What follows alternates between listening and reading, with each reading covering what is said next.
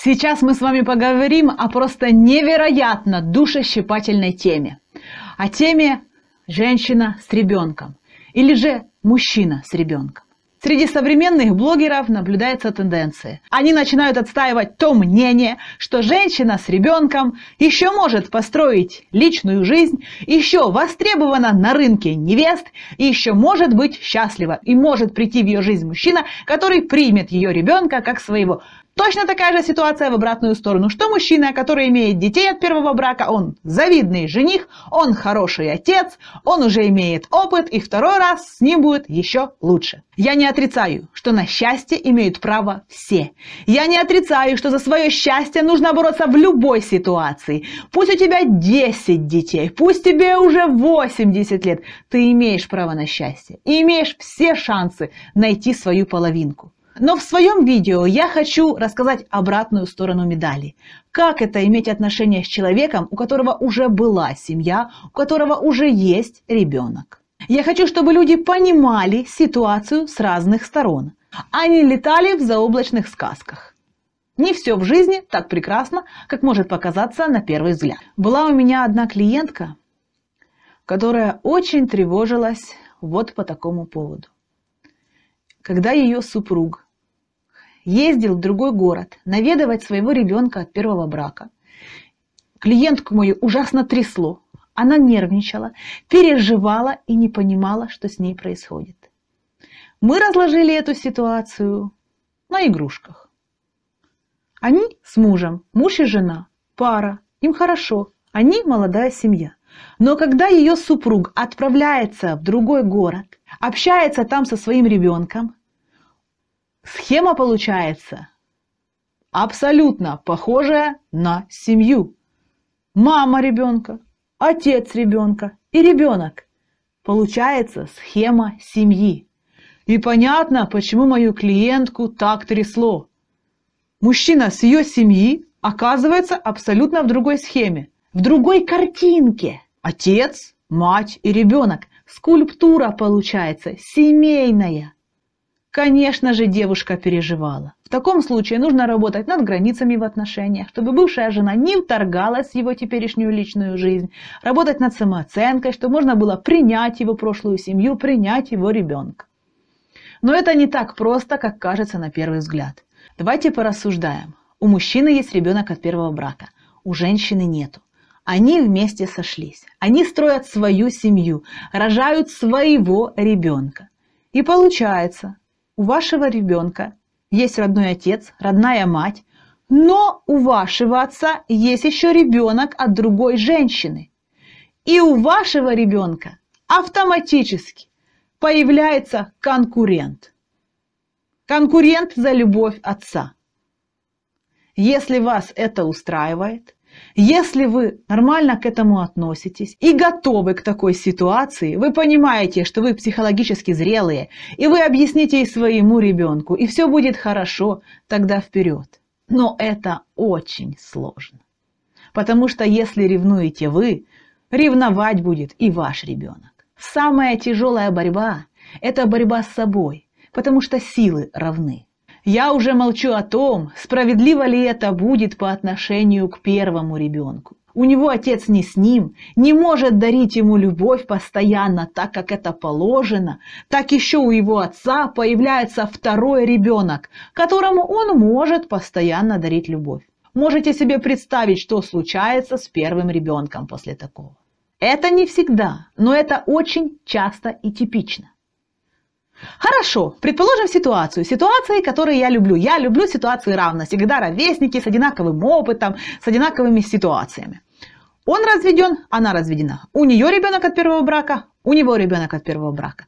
Они объединяются в семью. Все, казалось бы, прекрасно.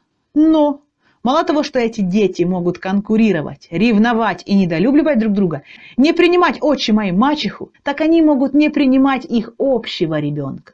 Знаете, есть такое мнение, и многие психологи об этом говорят, что дети должны смиряться с выбором своих родителей. Но вы знаете, смирить насильно невозможно.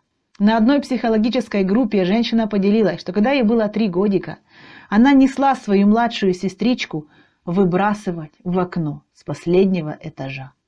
И если бы мама это не увидела, она бы не спасла жизнь своей младшей дочки. Бывают такие ситуации, это реальность. Не думайте, пожалуйста, что я вас запугиваю или отговариваю жениться. Просто я вас прошу, думайте очень сильно и отнеситесь к этому максимально ответственно. Подумайте не только о своих чувствах, но и о чувствах своих детей. Сколько раз можно увидеть ситуацию, когда дети от первого брака уходят от своей мамы или от своего папы к бабушкам и дедушкам. Напишите в комментариях, знаете ли вы такие случаи. А когда неправильно подобранный отчим совершает насилие над своими приемными детьми, это просто ужасно, но это тоже типичный случай. Такое часто бывает. Прежде чем выходить замуж второй раз, очень хорошо подумайте. Прекрасно, когда дети маленькие. Когда они воспринимают и отчима, и папу, как пап. Принимают обоих, принимают своих старших, братьев, сестер, потому что они ничего другого не видели. Но а если эти старшие не принимают младших? Если эти старшие ненавидят? Вот вырастает маленький общий ребенок и принимает эту ненависть как должное, он думает, что так и надо. И если это равно относительно вас, у вас был прошлый брак, у вашего партнера был прошлый брак, то это не значит, что ваши дети равны. Уверены ли вы, что ваш партнер примет вашего ребенка как своего и наоборот? Уверены ли вы, что вы полюбите чужого ребенка как своего? И уверены ли вы, что ваш первый ребенок и первый ребенок вашего партнера полюбит вашего общего ребенка? Вот если вы в этом уверены, если вашей любви хватает на всех, вот только тогда вступайте в брак. Даже фильм есть такой, перемешанный, когда люди после первых браков вступают в второй брак и вместе едут на психологический курорт. С этого даже сняли комедийный фильм, потому что это настолько больно, что кроме того, как с этого смеяться, больше ничего не получается принимать чужих нелегко. Знаете, типичная шутка. Свекруха не принимает невестку. Так это взрослые люди не могут найти общий язык. А представьте, как ребенку принять чужого человека или быть непринятым. Как в фильме «Сестры». И знаете, есть поговорка «бывших жен не бывает». И отчасти это правда. Расскажу вам вот такую историю. Был у нас на работе корпоратив. И люди веселые, праздник. У нас есть Сережа, который первый раз разведен, и у него уже вторая семья. Есть незамужняя секретарша. И люди веселые на корпоративе, вы понимаете, начали шутить. Сережа, давай с нашей секретаршей, там, тетя. Ну, такие, безобидные, вроде бы, казалось бы, шуточки. Но я буду рассказывать не о их отношениях. Я расскажу вам фразу, которую этот Сережа выдал. Он так подумал, подумал и сказал. Не, ребята, три семьи я не потяну.